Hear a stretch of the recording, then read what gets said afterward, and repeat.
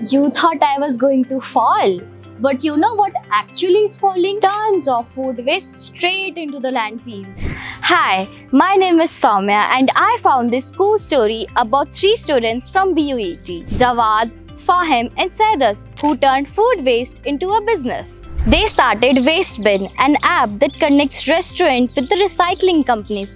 Instead of dumping food in the landfills, restaurant can sell it. Organic food becomes fertilizers and biogas plastic gets recycled and restaurant can make extra money. Their idea made it up to top 70 teams globally, Shell Ideas 360 and even won funding from Bangladesh ICT Ministry. Waste Bin is making sure not to waste anything literally. At Planet Pluc, we share ideas that matters.